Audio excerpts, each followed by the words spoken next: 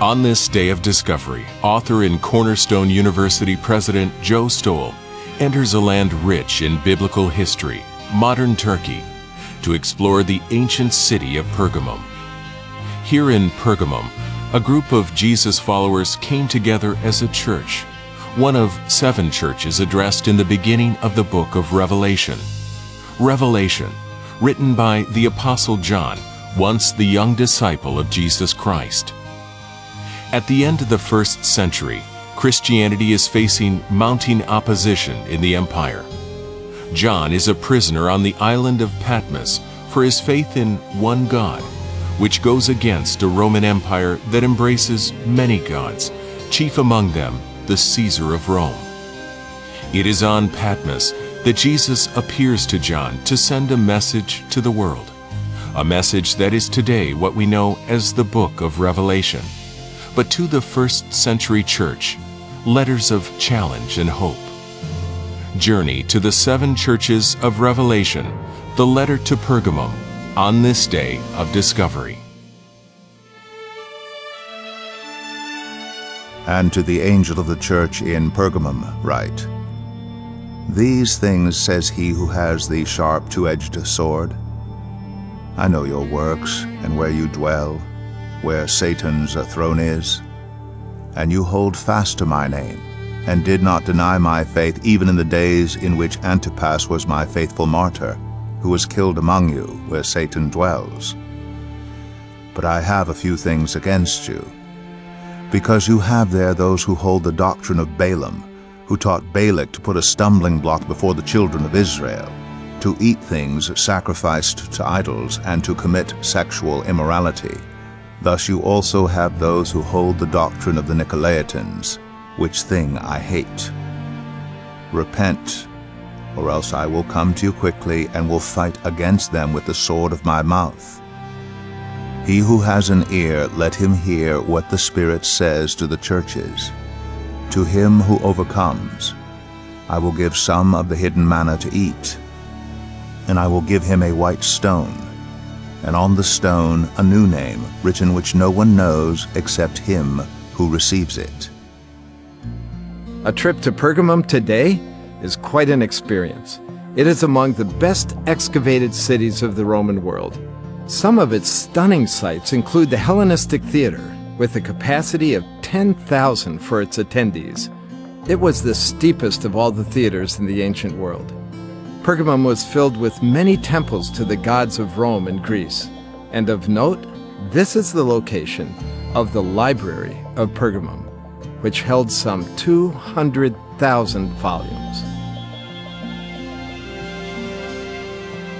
Long before the birth of Jesus Christ, Pergamum was the capital city of the Pergamum Empire, that empire that held this region of the world in its grip.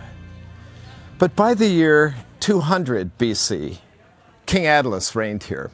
One of the things that Attalus did was strike a peace treaty with Rome. As a part of that treaty, Rome gave him control over almost all of Asia Minor.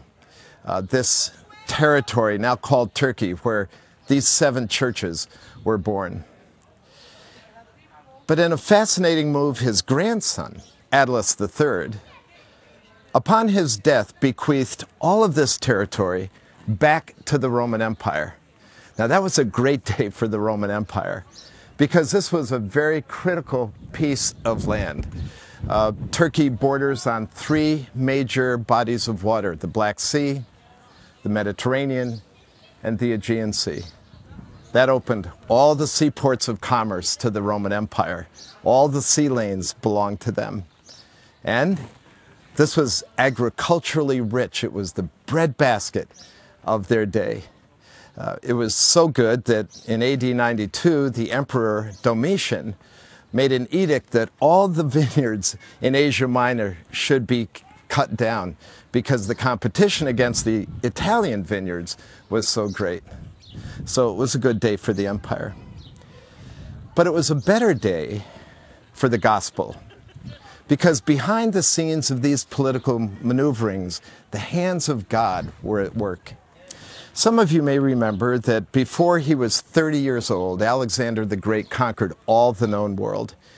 which gave the known world one culture, the Greek culture, gave the known world one language, the Greek language. That miracle was something that prepared the way of the gospel through all of the Roman Empire. After Alexander's death, though, it split up into smaller pieces, and by now, Rome had everything back for its empire except this bridge of land between the east, Jerusalem, and the west, Italy and Spain and all of Europe. When Attalus handed it back to the Roman Empire, that meant that there would be no barriers to the gospel, that everything would be wide open in the empire. And so Christianity spread. I love watching the hand of God at work preparing the way for the gospel. And early Christians lived here in the city of Pergamum, and they held the good news of Jesus Christ in their hand. They held it at great cost, because in Pergamum, it was at great risk.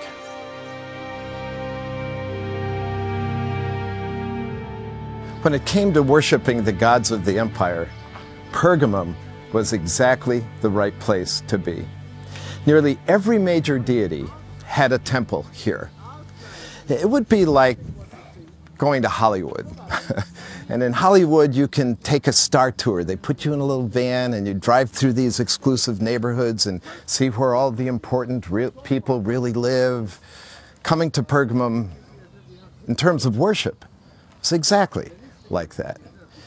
Um, no matter what you desired, or what you needed, or what you dreamt for, the gods would offer here to fulfill that for you. Pergamum was exactly the right zip code to be in.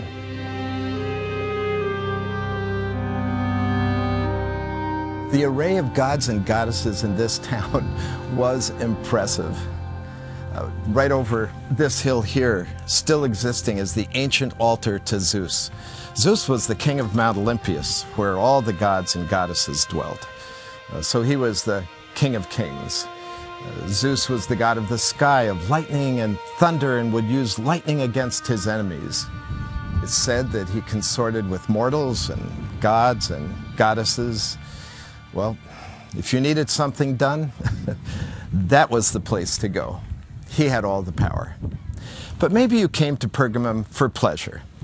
Then why not go to the temple of Dionysus? Uh, he was the god of wine and revelry.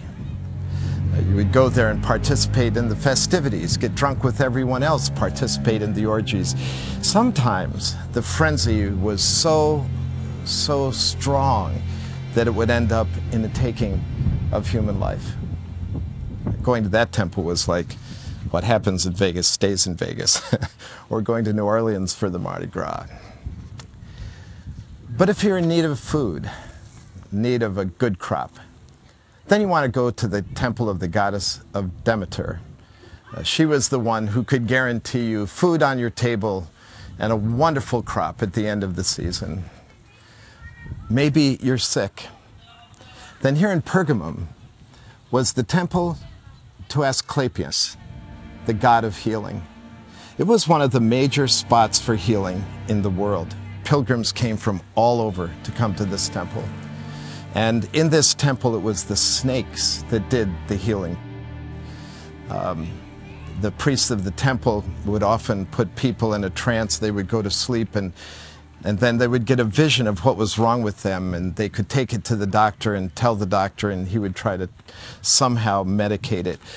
Uh, in an even stranger ritual, they would often put the sick people in a large room at night that's pitch black and in the middle of the night, in their deep trance like sleep that had been induced on them, they would release the snakes to crawl over their bodies in a ritual of healing. Interestingly, even today, the medical symbol that we see is a rod with snakes wound around it. It dates right back to that hospital here in Pergamum. Or maybe you need wisdom. You just don't know what to do then come to the temple of Athena, the goddess of wisdom, the goddess who would understand and form great military strategies for Rome to win its wars. Or if you wanted to affirm that Caesar was Lord of Lords, the Savior of your life, granting you safety and peace, then you would come to the temple of the imperial cult up on the top of the mountain, the temple to Trajan. This was the scene at Pergamum. And if you are a follower of Jesus Christ and you refuse to bow the knee, it was a good thing for you to hear what Jesus said at the beginning of the letter when he said, I know the place where you dwell, where Satan's throne is. To understand how challenging it would be to be a follower of Jesus Christ here in Pergamum, let's say that you and I are Jews who live here. And you and I decide to go back to Jerusalem with pilgrims from all over the world to celebrate the feast of Pentecost. So we pack up and we go and go through the rituals of the feast. But while we're there, something really strange happens. Because we see a group of men who are making amazing claims. Uh, they claim that Jesus has come, the Messiah, that he is the King of the Jews. And the miracles surrounding that catch our attention, and we're drawn by the Holy Spirit to Jesus Christ. And you and I accept Christ as our Savior there, and we're baptized.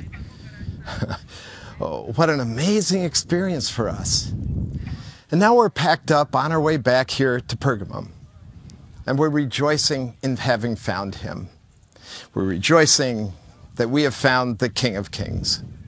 Uh, that we now have dwelling within us this Jesus, who promises us ultimate pleasure. Like he said, that he has come to give us life and to give it to us more abundantly.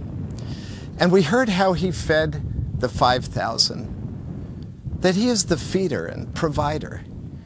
We were told while we were there that he did miracles of healing. In fact, we saw some of his followers, apostles, healing people. That we had, we had met the ultimate healer. And wisdom? Well, the Apostle Paul wrote to the church at Colossae that in Christ are hidden all the treasures of wisdom. And Savior, Emperor, he has saved us from our sins and granted us eternal life. And we're going back rejoicing about that until we think about actually walking through the city gates. And now we know there's trouble ahead. It's trouble ahead because going back and telling our Jewish friends this will probably get us kicked out of the synagogue.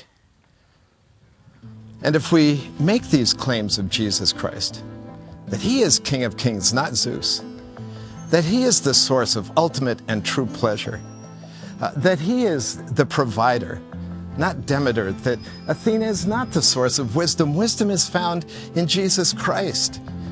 Well, then it just all flies in the face of the gods.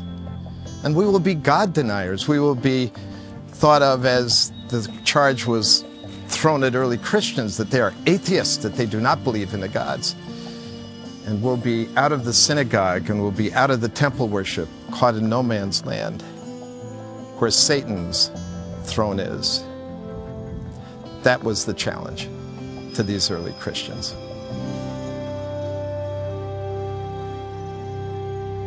So, being a follower of Christ in Pergamum was really a high risk adventure. It threatened your comfort, your personal peace, relationships with valued family members and friends.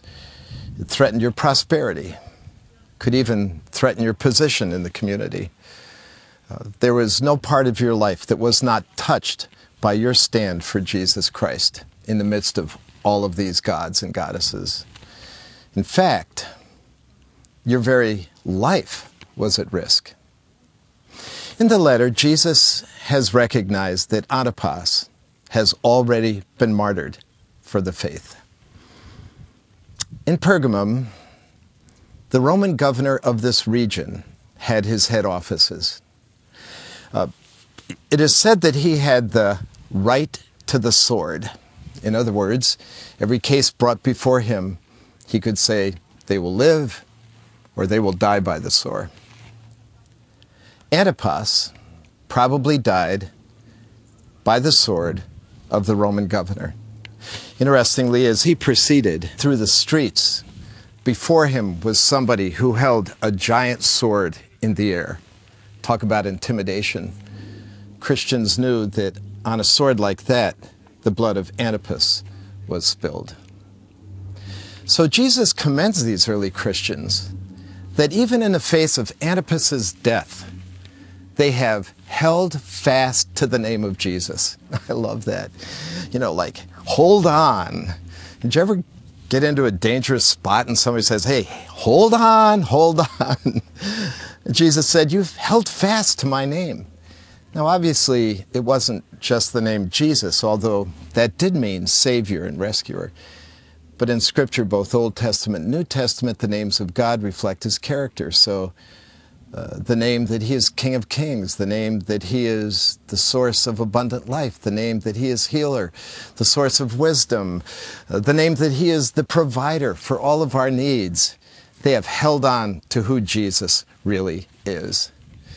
There is a hymn that early Christians sang, probably here in Pergamum. It's recorded in Philippians chapter 2.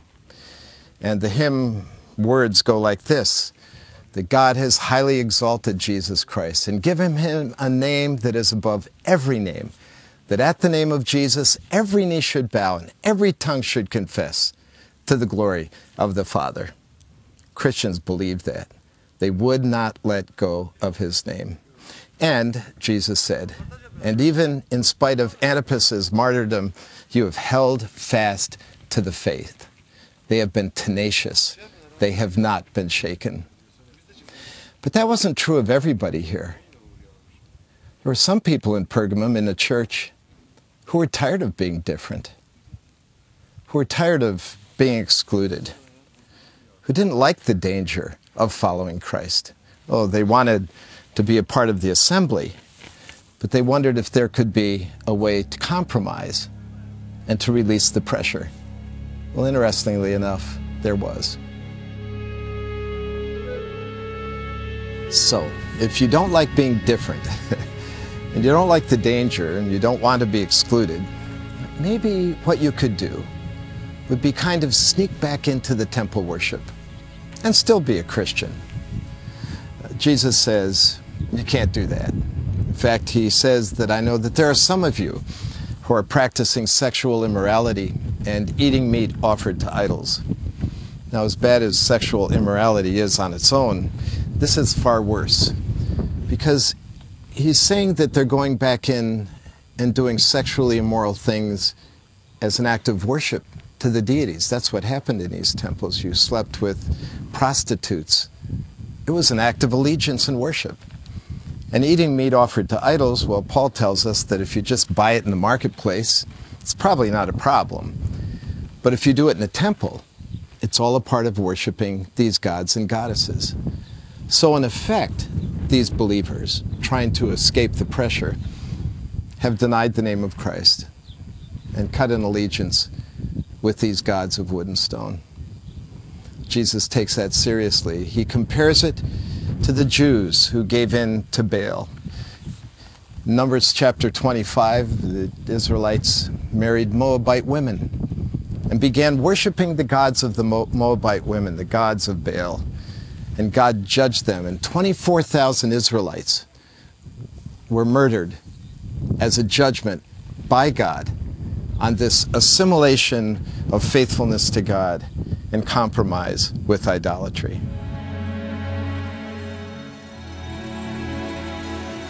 Assimilation into the systems of our world to try to release us from the stress and pressure has always been a problem. It certainly was a problem for Israel when they tried to relieve the pressure by consorting with the gods of the Canaanites. And Jesus tells us it's a problem here in Pergamum when Christians try to live in both worlds at once. The problem in the church of Pergamum was not that the church was in Pergamum, it was there was too much Pergamum in the church. Now, I found myself thinking, what are the things that marginalize us today that we try to reduce and discount so that we can stay in the mainstream? Immediately, the whole concept of sin came to my mind. Why is it that we hear so little proclamation about the danger of sin and call to repentance? You can go to churches today, they're like a psychological pep rally. Uh, you feel really good about yourself when you leave. Repentance is a non issue. Now, hell doesn't go down real well with our culture. It's kind of embarrassing that God would send people to hell. So we don't hear much about that anymore. Or maybe we, you know, try to talk it away and make it not be as bad as the judgment of God says it's going to be. Or that Jesus is the only way. I, I hear Christians saying, well, he's the only way for me. You know, I can't say that for everybody else, but he is the only way for me. It seems to me we're fudging a little bit there. Or even suffering. That Jesus Christ has told us to take up our cross and follow him, and that suffering is part and parcel of our walk with him and his work in our life. And you go, go to churches today that will tell you that's not true, that Jesus wants you to be healthy and happy and wealthy, and if you just trust Him enough, He'll give you everything you want. Well, if Jesus was upset about this stuff at Pergamum, I wonder what He thinks about us today, who lose our edge, our distinctiveness, our dynamic difference in the power of the gospel by trying to compromise around the edges. Well, if He called them to repent, He must call us to repent as well. So the believers in Pergamum were stuck in a really bad place where it was tough to be a follower of Jesus Christ. And most of them prevailed. They held fast, they would not let go. I can't help but think of some of us who find ourselves stuck in a bad place where it's tough to be a follower of Jesus Christ. Perhaps you've accepted Christ as your Savior and you walk back into your home into a relationship with your spouse who doesn't share your faith. That's tough. At the office, to prevail as an unashamed follower of Jesus Christ among colleagues who speak behind your back, think you're weird for what you believe, think you're arrogant and bigoted to believe that Jesus is the only way. Or maybe you're stuck in loneliness because you won't play the sex games of dating and the parties after the office. I don't know, but I just know that when you're a follower of Jesus Christ, you get stuck in bad places where it's tough to hang on and to not let go. So, to these followers at Pergamum, Jesus had a great closing statement in the letter, a statement of reward. He said, For those of you who overcome, I will give you manna from heaven. A reference to the Old Testament feeding of the Israelites when they otherwise would have starved to death. God provided for them. Think of the manna, manna of, of His love and companionship, the manna of His wisdom, the manna of His word, the manna of prayer, of the indwelling Holy Spirit, how He provides for you. Cling to those things because he says, I will provide. But then I love what he says next. For those who prevail, you will receive a white stone with the name on it that no one else has and no one else knows. So, what does that mean? Well, we're not really sure. But in the ancient world, invitations to major festivities and events by the emperor um, were done on a white piece of marble and your name would be engraved as an invitation to come. And when you entered the festivities, you would present your invitation on this white piece of marble that had your name on it. So think of these believers who were excluded from the festivities, who had no welcome in the society or in the culture, hearing that ultimately Jesus will invite them to his feast. Their name will be on there, actually a name that no one else knows. It's like your PIN number. This is so intimate. And you will be welcomed into the festivities and pleasure of His presence. Now, in my mind, that's worth hanging on for. That's what Jesus promises to those who are faithful great will be their reward in heaven.